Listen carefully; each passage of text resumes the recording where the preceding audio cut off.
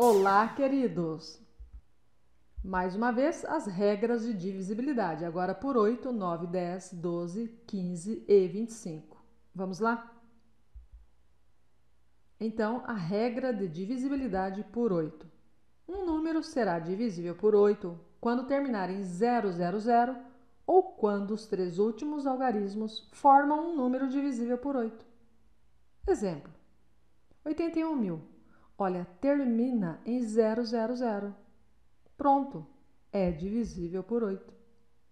Mais um exemplo: 67.488. Aqui devemos olhar os três últimos algarismos. 488 é divisível por 8 ou não é? Eu faria assim, olha, decompõe o número 480 mais 8. Bom, 48 é divisível por 8, então 480 também. 8 é divisível por 8, logo 488 é divisível por 8, mas você pode também armar a conta. Nada impede. Então, sim, ele é divisível por 8.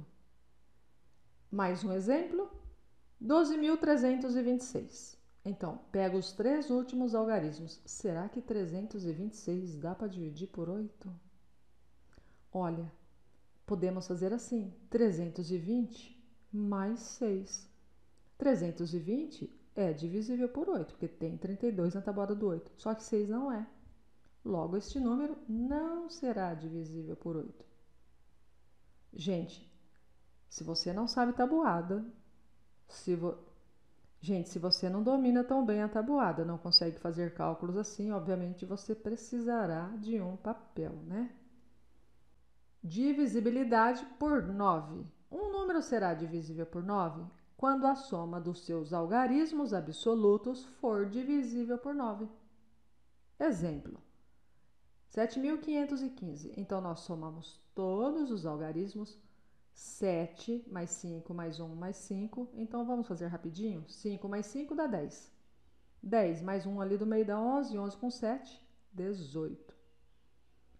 Tem 18 na tabuada do 9? Sim. Então, 7.515 é divisível por 9. Mais um, 3.420.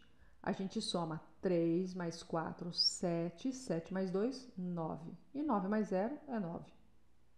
É divisível? Sim, também, né? Porque a soma deu 9.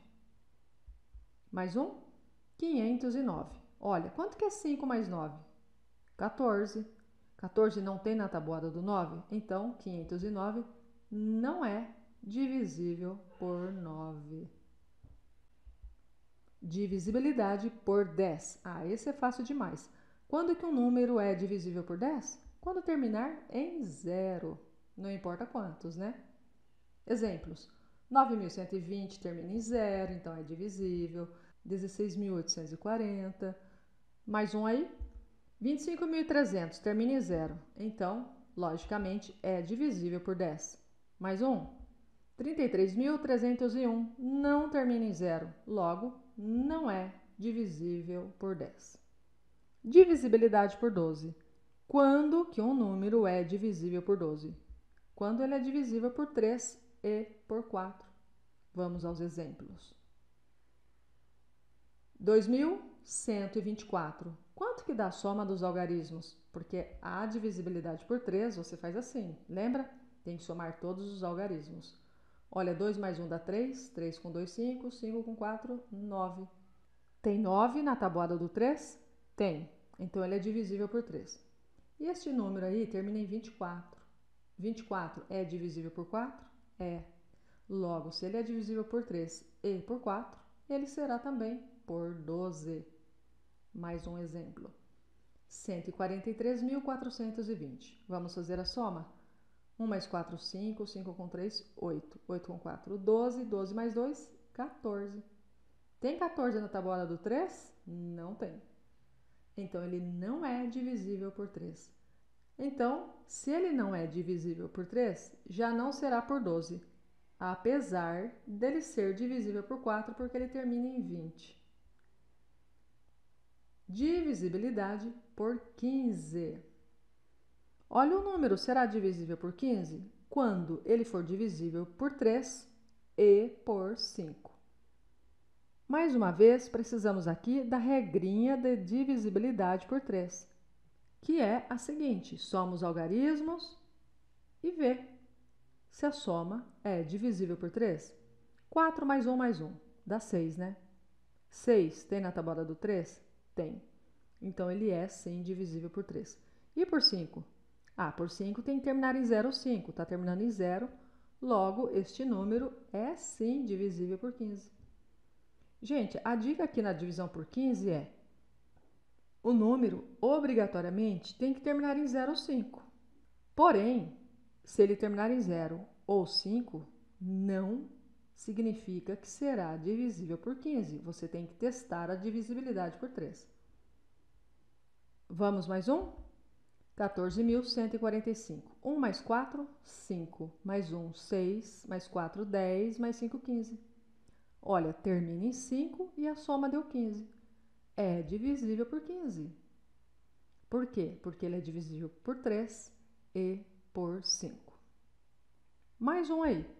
25.310. Termina em 0. Então, eu já sei que é por 5. E será que é por 3? Soma. 2 mais 5, 7. 7 mais 3, 10. 10 mais 1, 11. Tem 11 na tábua do 3? Ah, não tem não, hein? Então, não será divisível por 15. Para finalizar, divisibilidade por 25. Um número será divisível por 25 quando ele terminar em 00, ou 25, ou 50, ou 75. Então, este número 9100 é divisível por 25. 16.825 também. 25.350 também.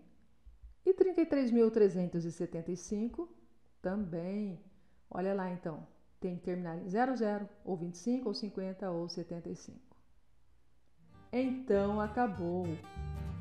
Obrigada por ter chegado até aqui. Inscreva-se e ative o sininho para receber notificações dos próximos vídeos.